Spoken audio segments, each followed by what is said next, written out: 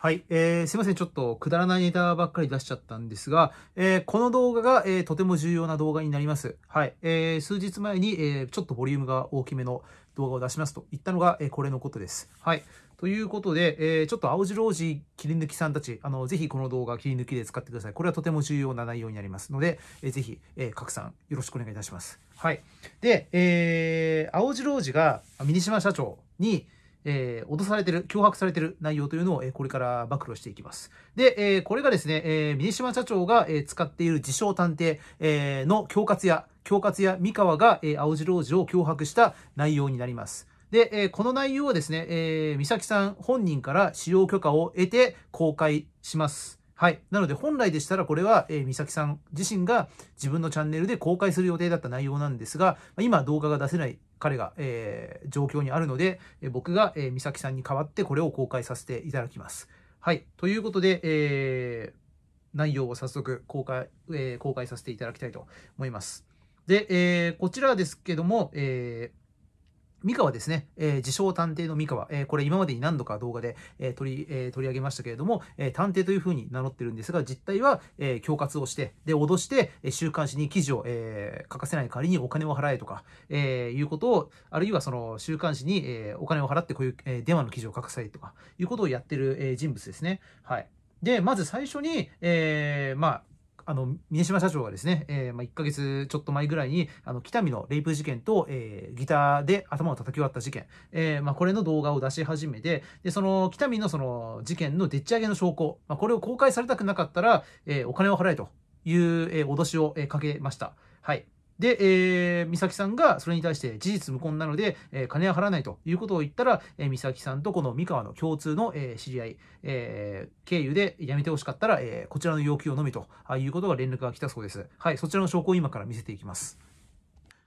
はい、えー、こちらがですね、両三河と書いてありますね。はい、これが、えー、恐喝や三河と、えー、青白王子とこの三河の共通の、えー、とある知り合いの方の LINE のスクショ画面です。えー、どう思いますか、えー、謝罪動画を上げる。美咲さんが謝罪動画を上げる。えー、同時に以後、え他人への誹謗中傷をしない制限をする。え過去の他人への誹謗中傷動画、えツイートを消す。そして、その消した事実と理由も公開する。えー、括消す基準はこちらにありと。YouTube 及び Twitter 活動は継続。ただし執行猶予が明けるまで YouTube のライブ配信は行わない。他人の、他人や組織の誹謗中傷動画、ツイートは以後一切上げない。他人からの中傷への対抗言論も禁止。一連の騒動や動画に対しての事実の公開は不要、不問、説明責任なし。裁判を取り下げる必要なし。えー、過去に、えー、過去の動画は消さない。ただし、明確な理由があれば可能。これは峰島サイドの話ですね。えー、この白い、え四角の方が、え青白王子サイドに、え要求する内容。で、えこの黒い四角がですね、えまあ、峰島社長側の条件ということですね。以後関連動画を上げない。え最後に1回のみ勝利宣言の動画を上げる。金銭のやり取りをしない。もちろん最後は弁護士同士のやり取りをする。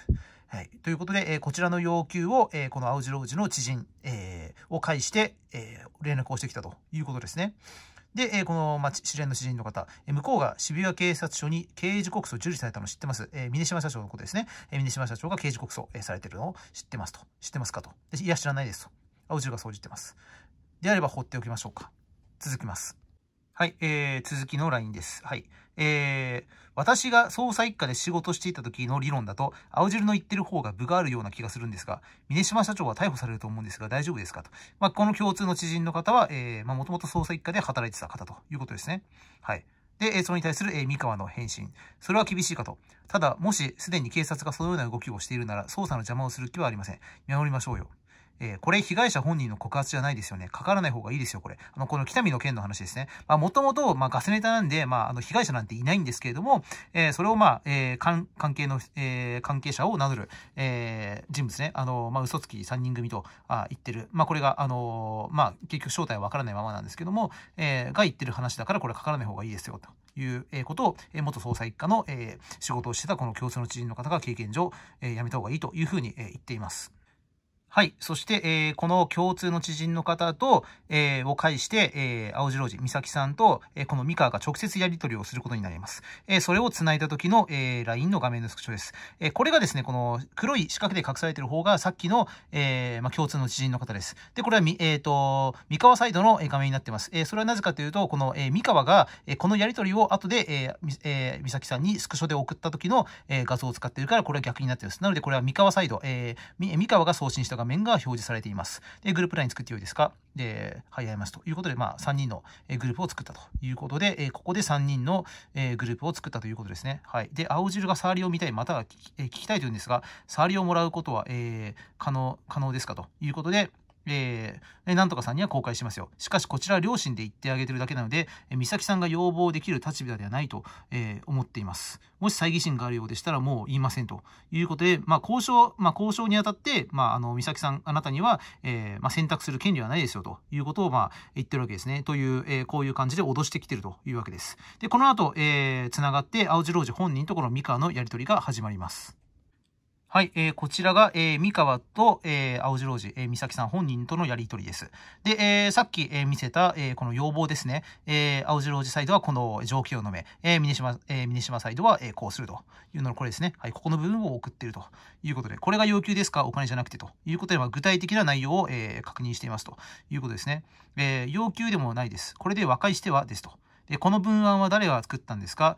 えー、で、その前に私たちは和解の必要がないかと。だって揉めていませんし、揉めていません、まね、いますし、調査をがっつりさせていただいたことは認めます。はい。で、えー、書いたのはこの三河本人ですということですね。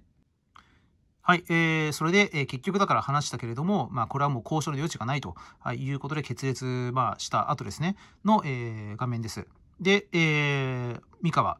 え、あ、それは完全に誤解です。え、僕か、え、僕は一件も電話してないんですよ。え、だから怖がる、え、わけはないかと。え、逆にその事実は警察にごご確認いただければわかるかと。え、ということで、まあ、その地元に、え、取材をしているという話についてですね、え、ご家族に関して、えー、三崎産業やクレヨネシカ、お父様の家、え、これ隠しているとこは、えー、三崎さんの妹さんの、実家など判明しておりますが、え、取材もしていませんし、取材する予定もありません。え、そして調査報告すら、えー、しておりませんので、ご安心ください。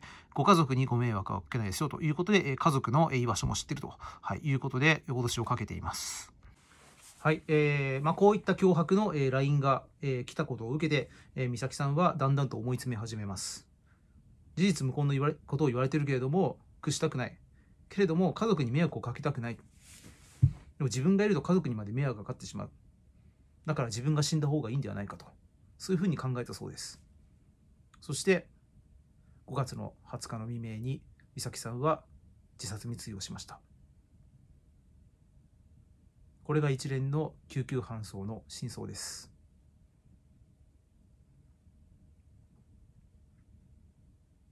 これのどこが探偵ですか？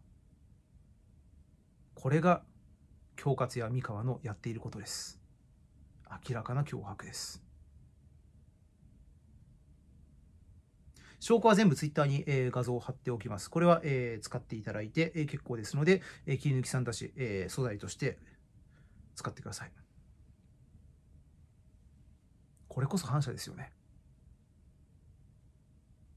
やり方が反射ですよ、完全に。この三河という人物。反社の組に所属しているわけではないかもしれないですが、やり方は全くもって反社ですよね。反社会的勢力。ヤクザのやり方ですよね。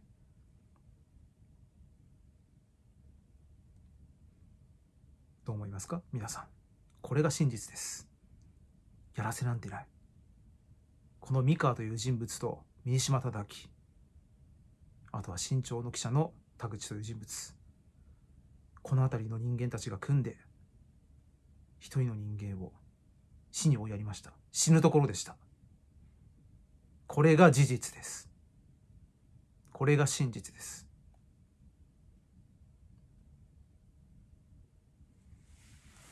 僕から言えることはここまでです。あとは本人からコメントが必ずあると思いますので、それを待ちたいと思います。美咲さんは一人で戦ってました。この LINE のやり取りを聞いたのは3日前ぐらいです。救急搬送される2日3日前に僕は美咲さんから相談を受けていました。警察がなかなか動いてくれないと。これだけ証拠も出しててこれだけ困っていて家族のとこにまで脅しをかけられてるのに警察は動いてくれないと遅すぎると焦ってました。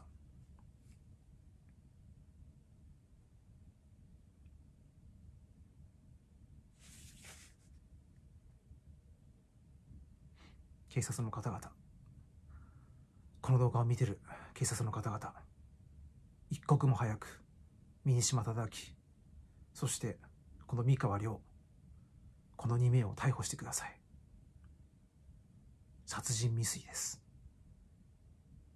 この2人は殺人未遂を犯しています。一刻も早く逮捕してください。お願いします。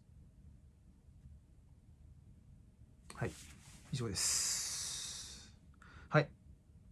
おそらく。